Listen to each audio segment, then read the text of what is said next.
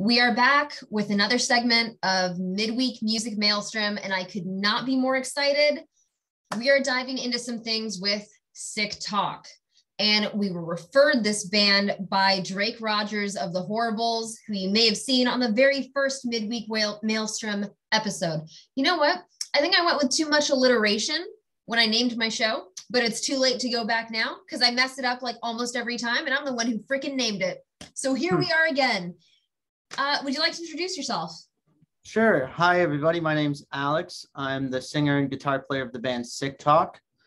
Um, we're kind of like your regular alternative garage kind of band. You know, we're really into bands like Pup and FIDLAR and Beach Goons. And what I'm trying to say is we use a lot of echo and reverb and stuff like that. And but it's nice to be here. Thank you for having me. No, it's it's my pleasure. I always get so excited to help people discover new music and you know get some new bands out there. That's what we do here. So, how long have you guys been a band? Been performing? So this band we started like I want to say it's been like 2 years. We started like right when the pandemic was starting up where it was kind of like I used to be in a band called the Damsels and I was kind of out of that for a little while and it's actually the same drummer as it was in the Damsels, and we have a new bass player. His name's Ryan. So we were all kind of just. I was kind of just coming back from leaving that band and trying to figure out what to do because I had all these songs, and so I just started calling people I know, and next thing you know, we are we made the first record, Grab It and Go, and we were called a, we were called Sin City Saints then, which is a dumb name for a band that's not from Las Vegas. And here we are. I love it. So are mm-hmm. you guys on Spotify, Apple? Where can people find your music? So I I know we're having some problems with some of the streaming stuff like Apple and stuff, but you can definitely find us on Spotify under Sick Talk. We have one record out now called Grab It and Go, and we're about to start working on another one, which is going to be a whole different sound, whole different ball game. Oh wow! So, what were you doing musically before the whole COVID thing? Because you said Sick, Sick Talk started right around COVID. Mm-hmm. So before that, I was in the Damsels with our drummer Devin, and that was very like, just kind of straight up skate punk, a little very like no effects and pretty much tailored to anybody that wears khaki shorts and uses too much hair gel. I was really into that. You know, I was really into like Fat Mike and Rancid and stuff like that. So so were those some of your biggest influences? Where did a lot of the sound inspiration come from for Sick Talk? So that was then. Stuff kind of changed between then and now. I kind of broadened my horizons a little bit with music stuff. So I started listening to a lot of like surf, a lot of hardcore lately. You know, I've been listening to bands like Comeback Kid and Terror and stuff like that. And then, you know, turning around and listening to super nice, relaxing surf music and stuff like that. So you sprinkle in a little bit of this, a little bit of that, a little bit. It becomes like a music stew. Kind of, yeah. You know, and I kind of have this bad habit of like going, getting really into like a certain sound for a little while, and then going, I could probably do that, and then I just try to write my version of it, and so. You know, given the amount of time every couple months, I just kind of sound a little different, I think. And so do you go for that variety? Is that like an intentional change in the sound? I'm actually trying to stop doing that. So I, I want to break like a bad habit? Sort of, because I, I feel like it's probably going to be a lot easier for me if I can kind of stick to one direction.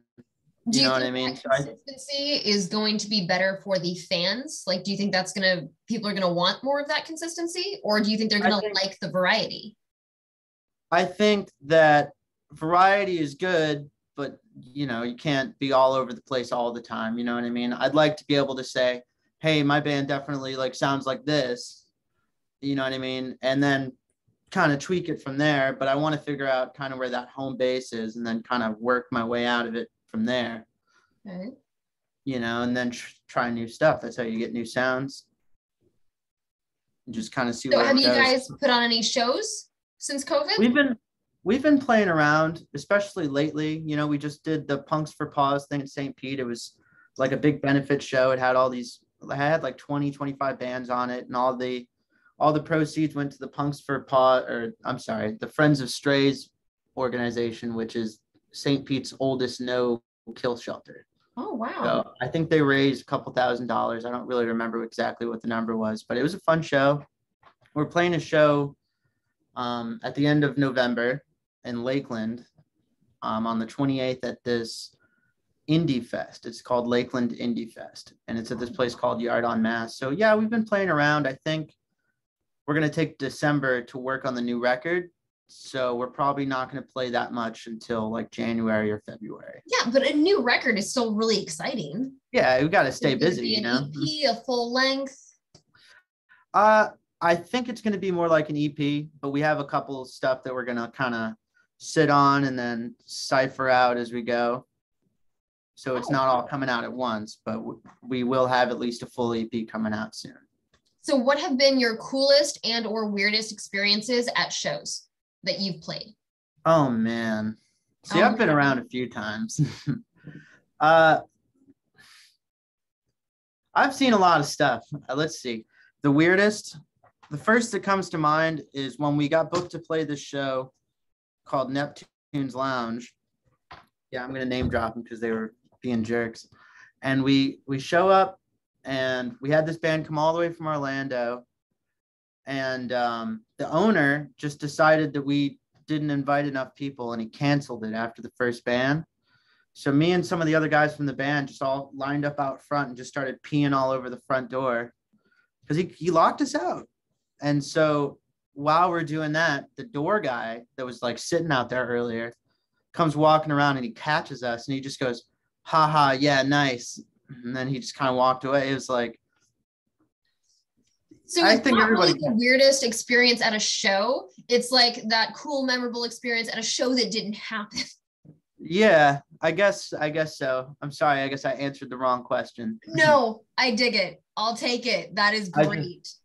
I, you know how shows are. There's always something at every show that you're going to see that you're kind of like, wow, is that really going on? I've seen it all. Oh my god. So how long have you considered yourself a musician? Like from like your your early projects through now, how long have you been playing music? I think I started like learning the guitar when I was like 11 or 12, and I jumped into my first band when I was like 15. I think I was in like the eighth grade, going into ninth grade, and I met this kid at the guitar store I was taking lessons at, and they were a little older than I was. So I started in this band called the Trenchmen, which was like not that cool. I mean, it was fun. I had hair down to here. I was just a little pimply kid. And then I think after that is when I said, oh, you know what? I think punk rock's really cool. I had a couple different phases. I did like a thrash thing for a while, and then I did a, had a rockabilly phase. you know, I had the big pompadour. I, you know what? Everybody gets one, I guess. I missed the scene phase though. And then I started the Damsels when I was like 18. And that was probably like my first like real band where I was getting on like bigger shows and just playing all the time. We did like an East Coast tour and then now then Sin City Saints, and now we're in Sick Talk. So, you know, I've been at it for fuck. I've been at it for like six or seven years now, I think. Wow. All right. So are there you said you didn't plan on playing any shows until probably next year? Probably, yeah. All right. Do you guys have any merch? Uh, we have some stickers. You know, we just got these in. Let me see. Um, they got the Sick Talk logo. oh, and and then the QR at the- code. Yep, and it takes you right to our Spotify. So we'll be handing these out or sticking them everywhere, you know, all over Tampa and anywhere, anywhere we go, really. So But- what has your experience been like in being part of like more a local punk scene? You know, just like anything else, there's parts of it that I really like and then parts of it that I really don't, you know, because like what I think is cool is that it is pretty tight knit, you know what I mean? Everybody knows everybody, everybody's cool and and that that's really cool. I like that a lot. But it gets a little frustrating sometimes when it's like uh you're not in that group, you know, if you're trying to get into like a new scene or something and they don't know you, so they're kind of like standoffish. It it all depends from scene to scene, you know what I mean? But I think around here everybody's been really nice and welcoming to me, so And where's would- here? Tampa, like Tampa Bay area, St. Pete, all like the surrounding area. I've always had a good time here. but you know, I've I've run into it. Then you're you're close enough for me to catch a show. Yeah, you know, we're we're playing in Lakeland at the end of the week, but uh, hopefully back in January we'll be playing somewhere in Tampa. So awesome. So were there yeah. any bands that you've played with that you're like, this is a great band. These are people that I'd love to play with again? Oh hell yeah! So you know Drake Rogers. Uh, we love did the you horrible. See his interview? Yeah, I did see it. I that guy cracks me up. I love the horribles. That guy is real serious though. I was so excited because I didn't know how midweek music maelstrom was really going to go. It was something new. I'd done Small Business Sunday, and then his interview hit a thousand views in the first week. That's I awesome. So stoked. Yep, those guys are awesome. I've been playing with them since I was in my old band, the Damsels. Devin actually, or my drummer, Devin, uh, actually filled in for him on a tour before. So we're all super tight. So definitely those guys. We're really tight with the Drain Outs. They're from St. Pete. They do that like surf psych kind of thing. Uh, one band that I'm really into right now is called Hovercar. They're new. They're from St. Pete. Um, they're like a two piece. They're kind of doing that grunge thing. It's, it's really cool. They've got some this down. Yeah, absolutely. Hovercar. Hovercar. It's all one word. Um, Who else do I need to look for? The Drain Outs. Drain out. Is that one word? I think it's two. That one's two. Um, the Liquid Pennies. Those guys have always been really cool. Ooh. That's like very much that surf psych kind of thing. It's like art rock almost. Okay. They might not like that I said that. I don't know. I but. love, you know, putting local bands out there, bringing. Yeah, absolutely. So these guys are on my list. I'm gonna hit them up, find their social media. Yeah, they're good too. Getting them to talk to us. You will not regret it. Wow. So do you find that when you're part of a music scene, like everyone's just really close knit? You were saying how like everyone knows somebody. Mm-hmm. Um, how does that work when you have a bad experience with another band?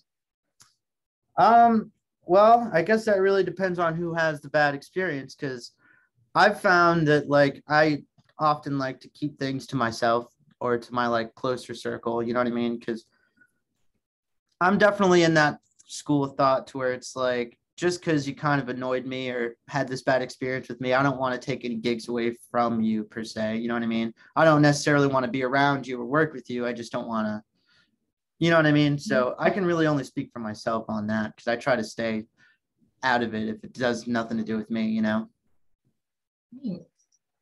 So we can find your music on Spotify, on Apple. Do you have any music videos that we might find on YouTube?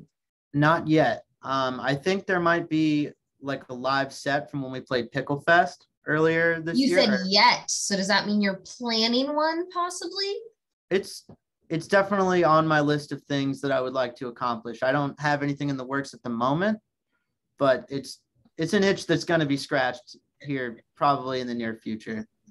Awesome. Mm-hmm. Yeah, I was listening to um some of your stuff earlier. I always try to listen to the bands I'm going to interview because I think having a genuine opinion um always helps. You you don't want to just throw someone on, you don't know what they're about.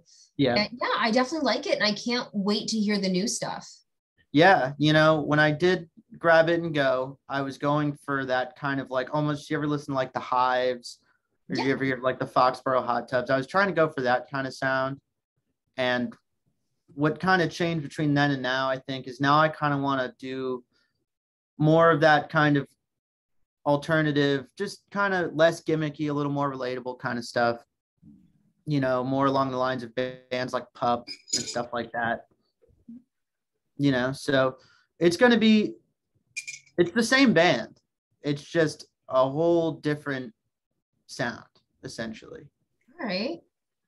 Wow.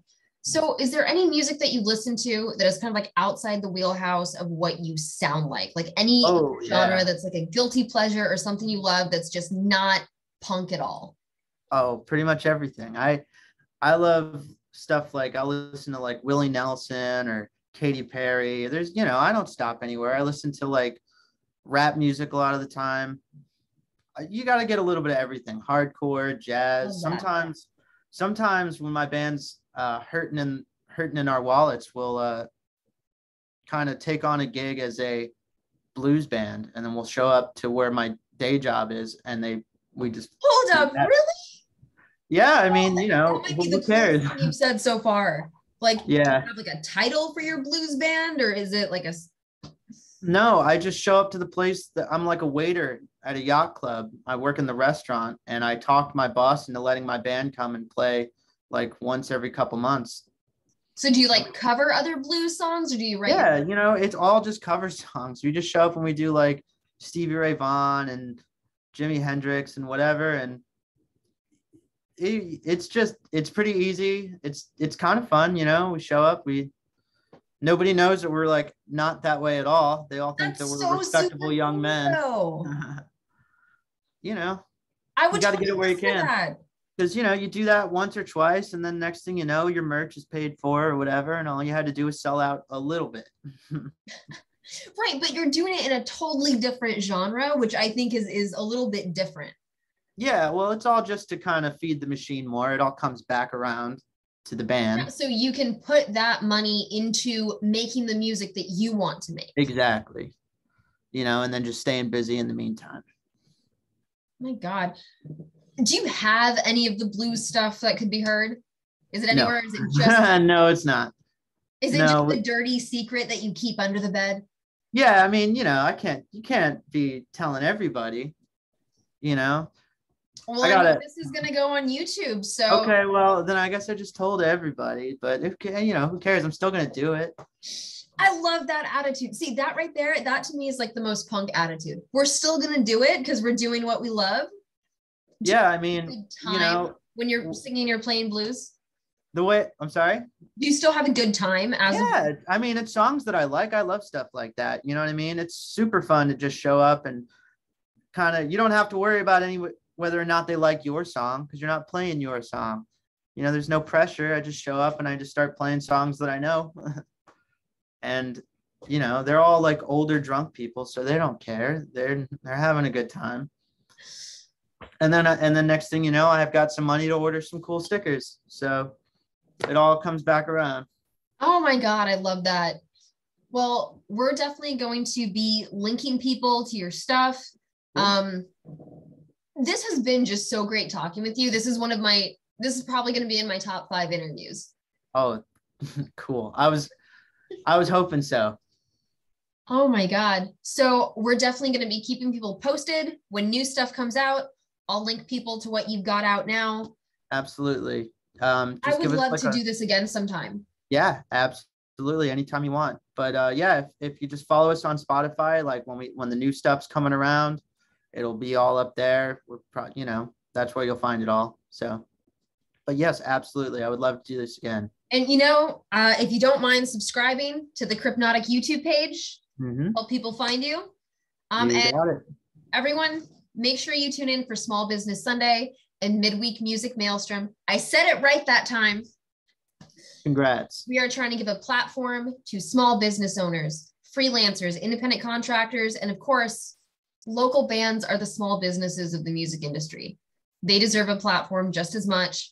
We need to help people find new music and support the smaller bands because you know what? Once they make it big, you will have listened to them first and you heard it right here. So, this is Ariel. I just uh-huh. interviewed Sick Talk. So, we hope to see you again next time.